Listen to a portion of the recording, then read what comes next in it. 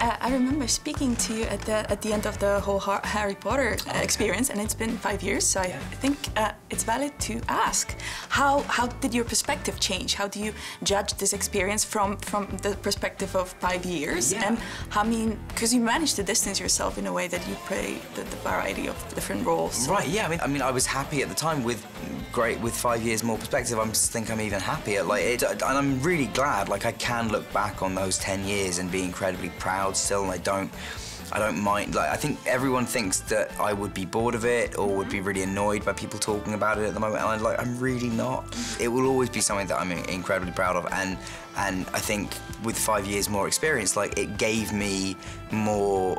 Uh, like of an education in terms of how to be on set than I could have got anywhere else in the world. So yeah. Imagine now that you have a child that wants to go into uh, into acting, uh, having the experiences that you had. Would you would you agree to it? It would be hard to it would be hard to say no because you because I've had a great experience and I think that if they did want to do that I would be able to help them through the experience having had the experience that I've had. Um, I don't know if my kids will end up in the industry. Maybe they'll end up in the industry but maybe not actors. Who knows? I don't know. I, I'm I'll let them decide.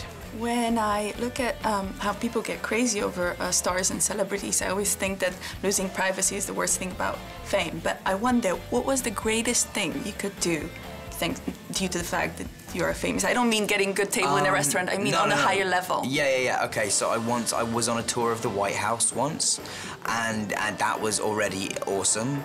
And we were walking next to like the Situation Room, and uh, we sort of said like, "Oh, are we allowed to go in and see that on the tour?"